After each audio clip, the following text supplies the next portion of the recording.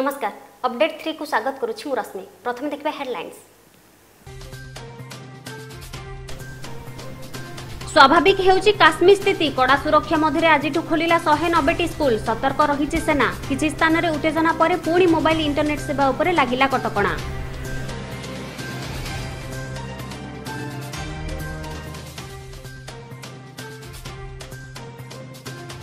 ବଲାଙ୍ଗୀର ପୁଇନ୍ତଳା ଶ୍ରୀକାନ୍ତ ନନ୍ଦ ହତ୍ୟା ମାମଲାର ଉଠିଲା ପରଦା। ହନୁମାନ ପଇସାକୁ କେନ୍ଦ୍ର କରି ହତ୍ୟା କରାଯାଇଥିବା ଏସ୍ଡିପିଓଙ୍କ ସୂଚନା।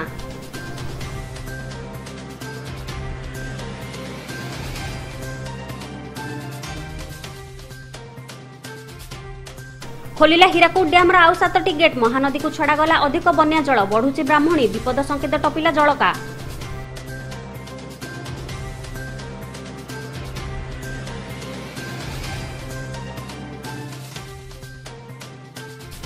ଶ୍ରୀମନ୍ଦିର ମେଘନାଥ ପାଚେରୀ ପାଖରୁ ହଟିବ ଜବରଦଖଲ ଆଜି ସକାଳୁ ଉଚ୍ଛେଦ ଆରମ୍ଭ ପ୍ରଥମ ପର୍ଯ୍ୟାୟରେ ସରକାରୀ ଅଫିସ ଓ ପରେ ବେସରକାରୀ ନିର୍ମାଣ ହଟାଇବ ପ୍ରଶାସନ ଘର ମଠ ଓ ମନ୍ଦିର ମୁକ୍ତ ହେବ ଶ୍ରୀମନ୍ଦିର ଚତୁଃପାର୍ଶ୍ୱ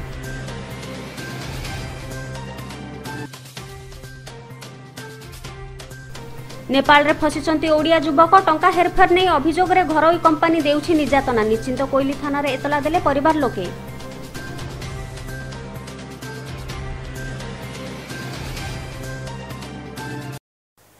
ଏବେ ଦେଖିବା ସମ୍ପୂର୍ଣ୍ଣ ଖବର। ନବଗଠିତ କେନ୍ଦ୍ରଶାସିତ ଅଞ୍ଚଳ ଜମ୍ମୁ କାଶ୍ମୀରରେ ଆଜି ସମସ୍ତ ସ୍କୁଲ କଲେଜ ସମେତ ସମସ୍ତ ସରକାରୀ କାର୍ଯ୍ୟାଳୟ ଖୋଲିଛି। ଦୀର୍ଘ ଦୁଇ ସପ୍ତାହ ପରେ ଆଜି ଶହେ ନବେଟି ସ୍କୁଲ ଓ କଲେଜ ଖୋଲିଥିବା ଶ୍ରୀନଗର ଡେପୁଟି କମିଶନ ସାହିଦ ଚୌଧୁରୀ କହିଛନ୍ତି ସ୍କୁଲ ଯାଉଥିବା ଛାତ୍ରଛାତ୍ରୀ ସଂଖ୍ୟା କମ୍ ରହିଛି। ସ୍କୁଲ ଯିବାବେଳେ ଛାତ୍ରଛାତ୍ରୀ କିଭଳି କୌଣସି ଅସୁବିଧାରେ ନ ପଡ଼ିବେ ସେଥିପାଇଁ ପ୍ରଶାସନ ସମସ୍ତ ପ୍ରକାର ସୁରକ୍ଷା ବ୍ୟବସ୍ଥା ଗ୍ରହଣ କରିଛି। ପ୍ରତି ଛକରେ ସୁରକ୍ଷା ଦାୟିତ୍ୱରେ ଯବାନ ନିୟୋଜିତ ରହିଥିବା ଜଣାପଡ଼ିଛି। ଅଗଷ୍ଟ ପାଞ୍ଚରେ ଜମ୍ମୁ କାଶ୍ମୀରରୁ ଧାରା ତିନିଶହ ସତୁରି ଉଚ୍ଛେଦ ହେବା ପରେ ସମସ୍ତ ସ୍କୁଲ ଓ କଲେଜ ବନ୍ଦ ରହିଥିଲା। ସ୍ଥିତି ସ୍ୱାଭାବିକ ହେବା ଦେଖି ଶହେ ଚଉରାଳିଶ ଧାରାରେ କୋହଳ କରାଯାଇଛି। ଘାଟିରେ ଥିବା କଲେଜଗୁଡ଼ିକର ପରୀକ୍ଷା ବାବଦରେ ମଧ୍ୟ ଖୁବ୍ ଶୀଘ୍ର ନିଷ୍ପତ୍ତି ନିଆଯିବ ବୋଲି ଜଣାପଡ଼ିଛି। ଏଥିସହ ସ୍କୁଲ ଓ କଲେଜ ଯେତେଦିନ ବନ୍ଦ ରହିଥିଲା ସେହି ସମୟରେ ହେବାକୁ ଥିବା ପାଠପଢ଼ା କିଭଳି ପୂରଣ ହେବ ତା ଉପରେ ମଧ୍ୟ ନିଷ୍ପତ୍ତି ନିଆଯିବ। ଦରକାର ପଡ଼ିଲେ ଏକ୍ସଟ୍ରା କ୍ଲାସ୍ ହେବ ବୋଲି ଜଣାପଡ଼ିଛି।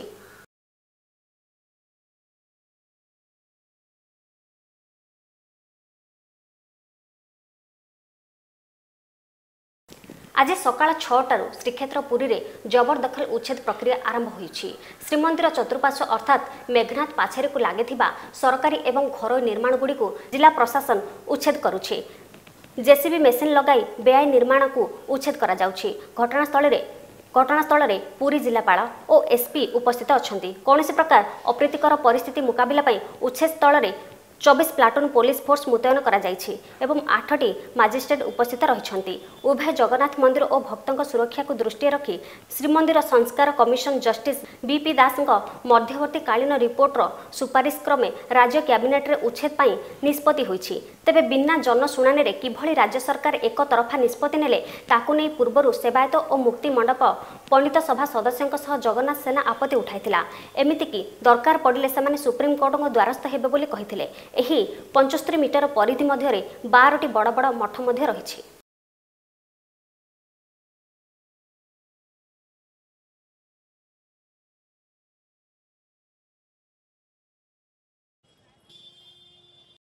ସ୍ଥାନୀୟ କୋଇଡ଼ା ଥାନା ଅନ୍ତର୍ଗତ ଏମ୍ଆର୍ ପେଟ୍ରୋଲ ପମ୍ପରେ ଗତ ଛବିଶ ତାରିଖରେ ହୋଇଥିଲା ଲୁଟ୍ ଉଦ୍ୟମ। ବନ୍ଧୁକ ଦେଖାଇ ହୋଇଥିବା ଏହି ଲୁଟ୍ରେ ମୁଖ୍ୟ ଅଭିଯୁକ୍ତ ବିଶାଲ ପ୍ରସାଦ ରାମଙ୍କୁ ରବିବାର ଗିରଫ କରିଛି ନୋଇଡା ପୋଲିସ। ଗିରଫ ଅଭିଯୁକ୍ତ ପାଖରୁ ଗୋଟିଏ ବନ୍ଧୁକ ତିନୋଟି ଜୀବନ୍ତ ଗୁଳି ଓ ନଗଦ ପଚିଶ ହଜାର ଟଙ୍କା ମଧ୍ୟ ଜବତ କରିଛି।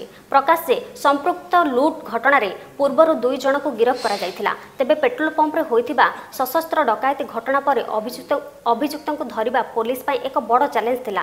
ତଥାପି ଅଭିଯୁକ୍ତଙ୍କୁ ଗିରଫ କରିଛି ପୋଲିସ।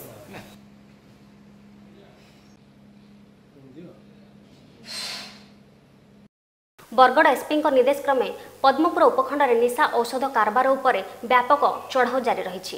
ଏହି କ୍ରମରେ ଗତକାଲି ପାଇକମାଲ ପୋଲିସ ନିକଟସ୍ଥ ବୈଦପାଲି ରାସ୍ତାରେ ଜଣେ ଯୁବକଙ୍କଠାରୁ ଏକ ମୋଟରସାଇକେଲ ସହ ଦଶଟି ସାର ବସ୍ତା ଭିତରେ ରହିଥିବା ଛଅଶଟି କପ୍ ସିରପ୍ ଜବତ କରିଛି। ଯୁବକ ଜଣକ ଗାଇସିଲଟ ଥାନା ଅନ୍ତର୍ଗତ ଅଇଁଲାଭଟା ଗ୍ରାମର ସୁନୀଲ କୁମାର ସାହୁ ଏବଂ ପୋଲିସ ତାକୁ ଗିରଫ କରି କୋର୍ଟ ଚାଲାଣ କରିଛି।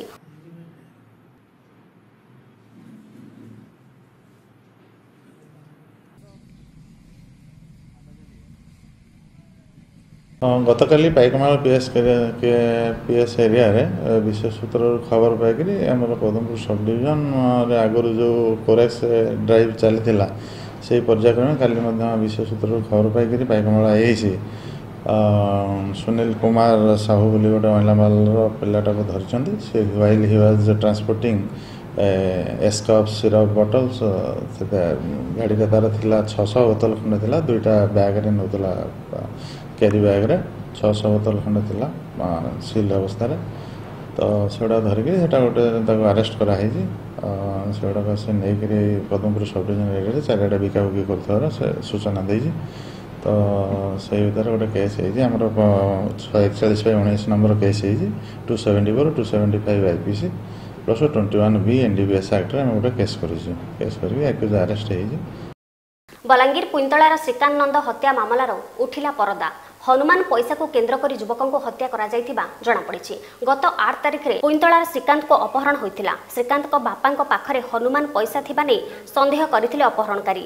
ପୁଅର ଜୀବନ ବଦଳରେ ତାଙ୍କଠୁ ହନୁମାନ ପଇସା ମାଗିବା ପାଇଁ ଯୋଜନା କରିଥିଲେ। ହେଲେ ପୁରା ପ୍ଲାନ୍ ବିଗିଡ଼ି ଯାଇଥିଲା। ଶ୍ରୀକାନ୍ତଙ୍କ ମୁହଁରେ ସେଲୋଟ୍ୟାପ୍ ବାନ୍ଧି ଅପହରଣକାରୀମାନେ ତାଙ୍କୁ ନେଇ ଦୁର୍ଗାପାଲିରେ ରଖିଥିଲେ। ଫଳରେ ସେ ଚେତାଶୂନ୍ୟ ହୋଇପଡ଼ିଥିଲେ ତେବେ ଶ୍ରୀକାନ୍ତ ମରିଯାଇଥିବା ଭାବି ତାଙ୍କୁ ସୁକତେଲ ନଦୀରେ ଫୋପାଡ଼ି ଦେଇଥିଲେ।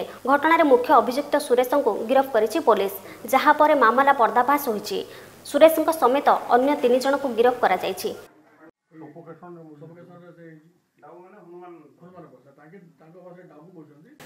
ଗତ ନଅ ତାରିଖ ଦିନ ଗୋଟେ ରିପୋର୍ଟ ହେଇଥିଲା।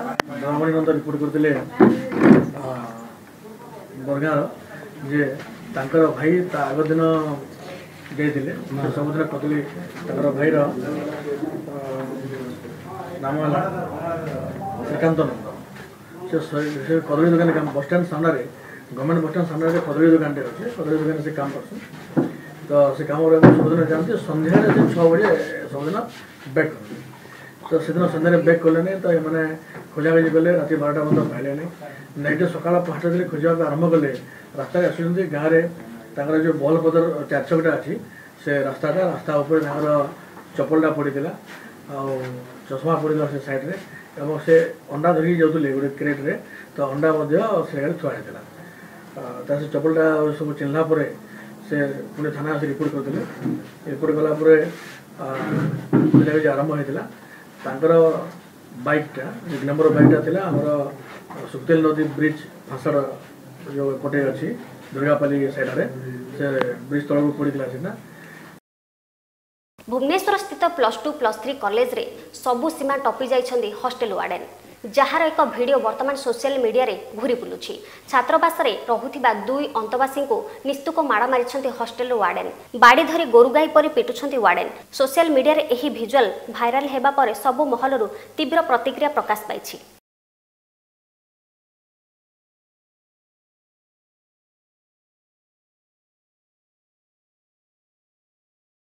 ନିଶ୍ଚିନ୍ତ କୋଇଲି ସ୍ଥିତ ଆସମାନ୍ସ କମ୍ପାନୀର ମାଲିକ ଡକ୍ଟର ଦେ ମହାନ୍ତିଙ୍କ ବିରୁଦ୍ଧରେ ସଙ୍ଗୀନ ଅଭିଯୋଗ ଆସିଛି। ଆସମାନ୍ସ ଆଇଟିଆଇ ନିକଟସ୍ଥ ମୂଲ୍ୟବାନ ଜମିକୁ ନିଜ ହେଫାଜତରେ ନେବା ପାଇଁ ଜମି ମାଲିକର ପୁଅକୁ ନେପାଳ ଆସମାନ୍ସ କମ୍ପାନୀରେ ଅଟକ ରଖି ଶାରୀରିକ ନିର୍ଯାତନା ଦେଉଥିବା ନିଶ୍ଚିନ୍ତ କୋଇଲି ଥାନାରେ ଲିଖିତ ଅଭିଯୋଗ କରିଛନ୍ତି। ନେପାଳରେ ଅଟକିଥିବା କର୍ମଚାରୀ ଅକ୍ଷୟ ବେହେରାଙ୍କ ମା ପ୍ରେମଲତା ବେହେରା।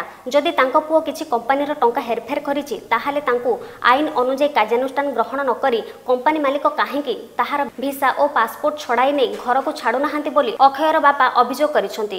ଅକ୍ଷୟର ଦାଦା ଏହାକୁ ଏକ ସୁଚିନ୍ତିତ ଷଡ଼ଯନ୍ତ୍ର କହିବା ସହ ମୂଲ୍ୟବାନ ଜମିକୁ ହାତେଇ ନେବା ପାଇଁ କମ୍ପାନୀ ମାଲିକ ଏଭଳି ଷଡ଼ଯନ୍ତ୍ର କରିଥିବା କହିଛନ୍ତି।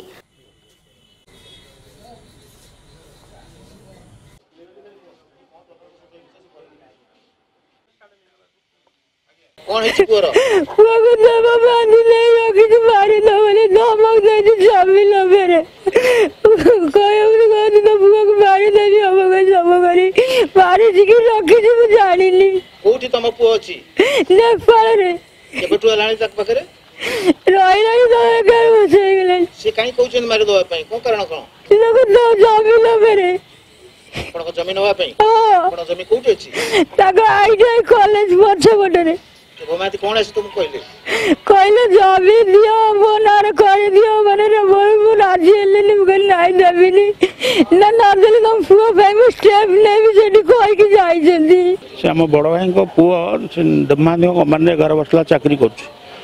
ଏବେ ସେ ହଠାତ୍ ଚାକିରି ଏଠୁ ଗଲା ପରେ ଆସିଥିଲା ଛୁଟିରେ ଯାଇଥିଲା ବୁଲି ଗଲା ପରେ ଅଫିସ୍ କି ଅଫିସରୁ ଗୋଟେ ଫୋନ୍ ଆସିଲା ଯେ ତମ ପୁଅ ଏମିତି ମିସ୍ ଆପ୍ରୁଭ୍ କରିଛି କ୍ୟାସ୍ ସେ ଆକାଉଣ୍ଟାଣ୍ଟ ପୋଷ୍ଟରେ ଅଛି ଏବଂ କହିଲେ ଯେ ସେ ପଚାଶ ଲକ୍ଷ ଟଙ୍କା ନେଇଛି। ତେଣୁ ଆପଣମାନେ ସେ ପଇସାକୁ ନିଜେ ଦେବମାନ୍ତି ବି କହିଲେ ଯେ ପଇସାକୁ ଆପଣ ଚେଷ୍ଟା କରନ୍ତୁ କେମିତି ସେଟଲ୍ ଅପ୍ କରିବା ପାଇଁ। ତାପରେ ଆମେ କହିଲୁ ଏତେ ଗୁଡ଼ା ଟଙ୍କା ସେ କେମିତି ନେଲା? ଆମେ ତ ବୁଝିପାରୁନୁ ଜାଣିନୁ। ତାପରେ ଏତେ ବଡ଼ ରକମର ଟଙ୍କା ଆମେ ସେଟଲ୍ କରିବା ଆମ ପାଖରେ ସମ୍ବଳ ହିଁ ନାହିଁ। ତେଣୁ ଯେହେତୁ ତାଙ୍କ ପାଖରେ ପିଲାଟା ଆମର ଅଛି କାଳେ କୌଣସି ପ୍ରକାର ସିଏ ମାନେ କ୍ଷତି କରିବ ପିଲାର ସେଇ ଭୟରେ ଆମେ ତାଙ୍କୁ କହିଲୁ ଆମେ ତାଙ୍କୁ ଆମକୁ ଦୁଇ ବର୍ଷ ଟାଇମ୍ ଦିଅନ୍ତୁ। ତାପରେ କହିଲେ ଦୁଇ ବର୍ଷ ଟାଇମ୍ ଦେଇ ହେବନି। ତାପରେ ଆମକୁ ସେ ଭିଡ଼ିଓ କ୍ଲିପ୍ ଦେଖେଇଲେ ଯେ ତାଙ୍କ- ଆମ ପୁଅଠାରୁ ସେମାନେ ଏଗ୍ରିମେଣ୍ଟ କରି ଏଗ୍ରିମେଣ୍ଟଟା ନାହିଁ ଅଣ୍ଡରଟେକିଂ ଲେଖି ନେଇଛନ୍ତି ଯେ ମୁଁ ଏତିକି ଟଙ୍କା ନେଇଛି ବୋଲି ପୁଅ ସେଥିରେ କନଫେସ୍ କରିକି ଗୋଟେ ଲେଟରରେ ଦସ୍ତଖତ କରିଛି। ପୁରୁଣା ବ୍ରହ୍ମପୁର ମା ଠାକୁରାଣୀ ମନ୍ଦିର କଲ୍ୟାଣ ମଣ୍ଡପଠାରେ ତ୍ରିନାଥ ମନ୍ଦିର ଯୁବକ ସଂଘ ତରଫରୁ ଏକ ମାଗଣା ସ୍ୱାସ୍ଥ୍ୟ ପରୀକ୍ଷା ଶିବିର ଅନୁଷ୍ଠିତ ହୋଇଯାଇଛି। MKCG diabetes assistant professor doctor P Ravi Kumar O RK diabetes and endocrine centre ମିଳିତ ଆନୁକୂଲ୍ୟରେ ପ୍ରାୟ ଦୁଇଶହ ପଚାଶ ଲୋକଙ୍କର ରକ୍ତ ଶର୍କରା ରକ୍ତଚାପର ମାଗଣା ପରୀକ୍ଷା କରାଯାଇଛି। ଏହା ସହ ସ୍ଥାନୀୟ ଅଞ୍ଚଳର କିପରି ଉନ୍ନତି କାର୍ଯ୍ୟ ହୋଇପାରିବ ତା ଉପରେ ଆଲୋକପାତ କରାଯାଇଛି। ଏଥିରେ ମୁଖ୍ୟ ଅତିଥି ଭାବେ ବ୍ରହ୍ମପୁର ସାଂସଦ ଚନ୍ଦ୍ରଶେଖର ସାହୁ ବ୍ରହ୍ମପୁର ବିଧାୟକ ବିକ୍ରମ ପଣ୍ଡା ସମାଜସେବୀ ସୀମା ପାଣିଗ୍ରାହୀ ଏବଂ ବହୁ ଯୁବନେତା ଏହି ସ୍ୱାସ୍ଥ୍ୟ ଶିବିରକୁ ସହଯୋଗ କରିଥିଲେ।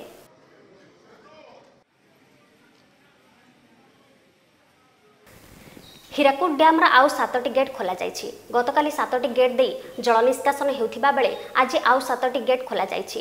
ହୀରାକୁଦ ଜଳଭଣ୍ଡାରରେ ବର୍ତ୍ତମାନ ଜଳସ୍ତର ଛଅଶହ ସତୁରି ଦଶମିକ ଆଠ ସାତ ମିଟର ରହିଛି। ମହାନଦୀର ଉପର ମୁଣ୍ଡରେ ବର୍ଷାର ପରିମାଣ ବଢ଼ିଥିବାରୁ ଇବ୍ ନଦୀରେ ବର୍ଷା ପାଣି ଆସି ହୀରାକୁଦ ଜଳଭଣ୍ଡାର ଭିତରକୁ ପ୍ରବେଶ କରୁଛି। ଆଜି ସକାଳ ସାଢ଼େ ନଅଟା ସୁଦ୍ଧା ହୀରାକୁଦ ଜଳଭଣ୍ଡାରରେ ଏକ ଲକ୍ଷ ପଞ୍ଚସ୍ତରୀ ହଜାର କ୍ୟୁମେକ୍ସ ଜଳ ପ୍ରବେଶ କରିଛି। ସେହିପରି ଏଠାରୁ ଦୁଇ ଲକ୍ଷ ସଇଁତିରିଶ ହଜାର ନଅଶହ ଦଶ ଘନଫୁଟ କ୍ୟୁମେକ୍ସ ଜଳ ନିଷ୍କାସନ ହୋଇଛି। ହୀରାକୁଦ ଜଳଭଣ୍ଡାରର ଚଉଦଟି ଗେଟ୍ ଖୋଲିବା ପରେ କଟକ ମୁଣ୍ଡଳୀରେ ସର୍ବାଧିକ ଚାରି ଲକ୍ଷ କ୍ୟୁମେକ୍ସ ଜଳ ନିଷ୍କାସନ ହେବ ବୋଲି କହିଛନ୍ତି ଡ୍ୟାମ୍ କର୍ତ୍ତୃପକ୍ଷ।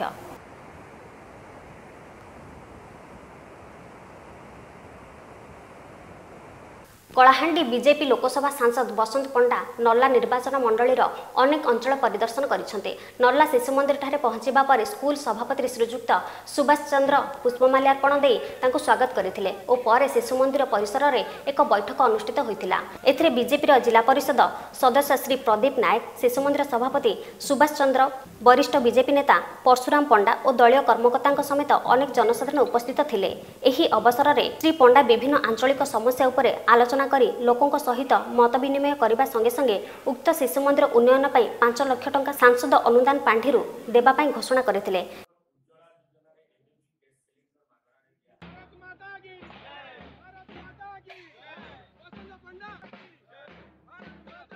ମୁଖ୍ୟମନ୍ତ୍ରୀଙ୍କର ଗୋଟେ ନିର୍ବାଚନ ମଣ୍ଡଳୀରେ ହେବା ପାଇଁ ନିଷ୍ପତ୍ତି ହେଇଥିଲା। ଯେତେବେଳେ ସ୍ଥାନ ଫାଇନାଲ କରିକରି ଦେଉଥିଲେ ସେତେବେଳେ ମୁଖ୍ୟମନ୍ତ୍ରୀ ସିରିୟସଲି ତାଙ୍କର ଏରିଆ ପାଇଁ ଲାଗିଲେ ନର୍ଲାକୁ ଛାଡ଼ିଦେଲେ ତେଣୁ ସେଥିରୁ ଆମେ ବଞ୍ଚିଥିଲୁ। ଆଗାମୀ ଦିନରେ ନର୍ଲାରେ ରେଲୱେ ଡିପାର୍ଟମେଣ୍ଟର ଯେନ୍ ଜାଗା ଅଧିଗ୍ରହଣ ହେଇଛି ସେଥିରେ କିଛି ଗୋଟେ ହଉ ସେଥିପାଇଁ ମୁଇଁ ରେଲୱେ ରେଲୱେ ମିନିଷ୍ଟରଙ୍କୁ କହିଛେ କାଣା ହେବା ମୁଇଁ ଏବେ କହି ନାଇଁ ପାରବାର। ରେଲୱେ ବାଗିଂ ଫ୍ୟାକ୍ଟ୍ରି ହେବା କି ଆଉ କାଣା କରାଯାଇପାରେ ତାର ଚିନ୍ତା ଚିନ୍ତନ ଚାଲିଛି। ଆଗାମୀ ଦିନରେ ନିଶ୍ଚିତ ରୂପରେ ସବୁଚିତ ପଦକ୍ଷେପ ଆମର ସରକାର ଉଠାବାକେ ଯାଉଛି। ରେଲୱେ ଆପଣଙ୍କର ଆମେ ଆଇଲା ପରେ ଜୁନାଗଡ଼ରୁ ଭୁବନେଶ୍ୱର ଗୋଟେ ଟ୍ରେନ୍ ନୂଆଟା ଆଗାମୀ ମାସେ ଦେଢ଼ ମାସ ଭିତରେ ଚାଲବା ଆମେ ରେଲୱେ ଷ୍ଟପେଜ ମାନଙ୍କର ପାଇଁ ବି ରାଜ୍ୟ ରେଲୱେ ମନ୍ତ୍ରୀଙ୍କୁ ନିବେଦନ କରିଛୁ। କିନ୍ତୁ ପଞ୍ଚୁଆଲିଟିକୁ ଧ୍ୟାନରେ ରଖିକରି ରେଲୱେ ଷ୍ଟପେଜ କେତେ ଦୂର ଯୁକ୍ତିଯୁକ୍ତ ହେବା ତାର ଉପରେ ନିଷ୍ପତ୍ତି ନେବେ ବୋଲି ବି କହିଛନ୍ତି। ତେପନ ନମ୍ବର ଜାତୀୟ ରାଜପଥ ଦୁହୁରିଆ ଛକଠାରେ ଏକ ସଡ଼କ ଦୁର୍ଘଟଣାରେ ଜଣଙ୍କର ମୃତ୍ୟୁ ଘଟିଛି। ମୃତ ବ୍ୟକ୍ତି ହେଲେ ମହାକାଳପଡ଼ା ଥାନା ଅନ୍ତର୍ଗତ କୁମ୍ଭାରପଡ଼ା ଗ୍ରାମର ପ୍ରଫୁଲ୍ଲ ରାଉତ ସୂଚନା ଅନୁଯାୟୀ ଚଣ୍ଡିଖୋଲରୁ କେନ୍ଦ୍ରାପଡ଼ା ଆସୁଥିବା ଏକ ଅଟୋ ଦୁହୁରିଆଠାରେ ରାସ୍ତା କଡ଼ରେ ଅଟକି ଥିବା ବେଳେ ଏକ ଲୁହା ପଥର ବୋଝେଇ ଟ୍ରକ୍ ପଛପଟୁ ଅଟୋକୁ ପିଟିଥିଲା। ଫଳରେ ଆଗ ସିଟ୍ରେ ବସିଥିବା ପ୍ରଫୁଲ୍ଲଙ୍କର ଘଟଣାସ୍ଥଳରେ ମୃତ୍ୟୁ ହୋଇଥିଲା ଏବଂ ଅଟୋରେ ଥିବା ଅନ୍ୟ ଦୁଇ ଜଣ ଯାତ୍ରୀ ଗୁରୁତର ଆହତ ହୋଇଥିଲେ। ଗୁରୁତରମାନଙ୍କୁ କେନ୍ଦ୍ରାପଡ଼ା ମୁଖ୍ୟ ଚିକିତ୍ସାଳୟକୁ ସ୍ଥାନାନ୍ତର କରାଯାଇଛି।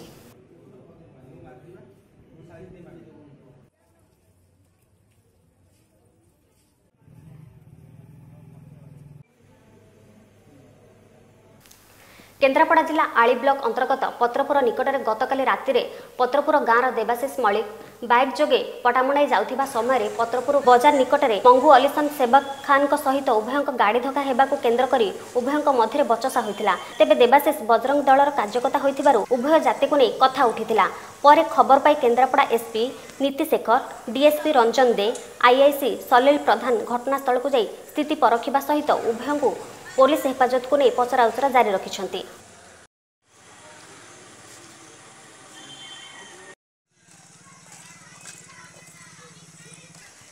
ଖଲିକୋଟ ସ୍ୱୟଂଶାସିତ ମହାବିଦ୍ୟାଳୟ ଖେଳ ପଡ଼ିଆଠାରେ ସାଂସ୍କୃତିକ ପତ୍ରିକା ଅଭିନୟ ଜଗତ ତରଫରୁ ଦେଶାତ୍ମକ ବୋଧକ ସାଂସ୍କୃତିକ କାର୍ଯ୍ୟକ୍ରମ ବନ୍ଦେ ମାତରମ୍ ଅନୁଷ୍ଠିତ ହୋଇଯାଇଛି। ଏଥିରେ ମୁଖ୍ୟ ଅତିଥି ଭାବେ ବ୍ରହ୍ମପୁର ସାଂସଦ ଚନ୍ଦ୍ରଶେଖର ସାହୁ ସମ୍ମାନିତ ଅତିଥି ଭାବେ ବ୍ରହ୍ମପୁର ବିଧାୟକ ବିକ୍ରମ ପଣ୍ଡା ପୂର୍ବତନ ବିଧାୟକ ରମେଶ ଚନ୍ଦ୍ର ପ୍ରମୁଖ ଯୋଗ ଦେଇଥିଲେ ମଞ୍ଚ ଉପରେ ଥିବା ମୁଁ ଧନ୍ୟବାଦ ଦେବି କାରଣ ସେମାନେ କହିବି ନାହିଁ କାରଣ ଏହା ପରେ କିଛି ଖୋର୍ଦ୍ଧା ପୋଷ୍ଟ ଅଫିସ ପାଖରେ ଥିବା ମହାନ୍ତି କମ୍ପ୍ଲେକ୍ସ ସର୍ବଶଶୀ ମହାନ୍ତି ସାଇ ଗାର୍ମେଣ୍ଟସରେ ଅଗ୍ନିକାଣ୍ଡ ହୋଇଛି। ଅଗ୍ନିକାଣ୍ଡ ଫଳରେ ଲକ୍ଷାଧିକ ଟଙ୍କାର ଡ୍ରେସ୍ ପୋଡ଼ିଯାଇଥିବା ସନ୍ଦେହ କରାଯାଉଛି। ଖୋର୍ଦ୍ଧା ଅଗ୍ନିଶମ ବିଭାଗ ପହଞ୍ଚି ନିଆଁକୁ ଆୟତ୍ତ କରିଛି।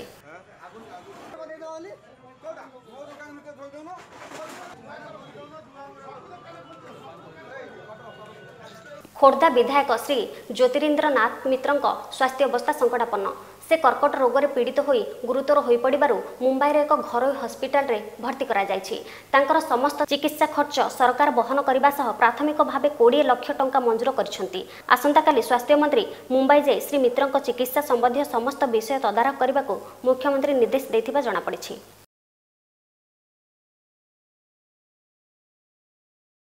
ରାଉରକେଲାଠାରେ ୟୁନାଇଟେଡ୍ ମାଇନ୍ସ ମଜଦୁର ୟୁନିୟନ ଓ ରେଜିଂ କଳିଙ୍ଗ କମର୍ସିଆଲ କର୍ପୋରେସନ ମଧ୍ୟରେ କଲ୍ଟା ସେଲ୍ ମାଇନ୍ସରେ କାର୍ଯ୍ୟରତ ଠିକା ଶ୍ରମିକମାନଙ୍କ ପାଇଁ ଦ୍ୱିପାକ୍ଷିକ ଚୁକ୍ତିନାମା ସ୍ୱାକ୍ଷରିତ ହୋଇଯାଇଛି। ଏଠାରେ ଠିକା ଶ୍ରମିକମାନଙ୍କ ପାଇଁ ବିଭିନ୍ନ ପ୍ରକାର ଚୁକ୍ତିନାମା ହୋଇଛି ଯେପରିକି ଠିକା ଶ୍ରମିକମାନଙ୍କ ବୈଦେଶିକ ମଜୁରୀ ବୃଦ୍ଧି ଏବଂ ଠିକା ଶ୍ରମିକ ପାଇଁ ଘର ଭଡ଼ା ଏବଂ ଲାଇଫ୍ ଇନ୍ସୁରାନ୍ସ ବାବଦକୁ ପାଞ୍ଚ ଲକ୍ଷ ଟଙ୍କା କାର୍ଯ୍ୟରତ ଥିବାବେଳେ ମୃତ୍ୟୁ ହେଲେ ଉତ୍ତରାଧିକାରୀଙ୍କୁ ଚାକିରି ଭଳି ପଇଁତିରିଶଟି ଚୁକ୍ତିନାମା ସ୍ୱାକ୍ଷରିତ ହୋଇଥିଲା।